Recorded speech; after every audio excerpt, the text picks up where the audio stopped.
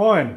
Dieses Mal kochen wir zusammen eine leckere Gulaschsuppe. Da rein kommen frische Paprika, Rindfleisch und noch allerlei an Gewürzen. Dann kommt alles in den Römertopf und wird nochmal eine lange Zeit durchgekocht und dann ist es einfach schon perfekt. Ich bin gespannt, was ihr sagt. Gebt uns gerne Rückmeldungen unten in den Kommentaren, wenn ihr es nachgekocht habt.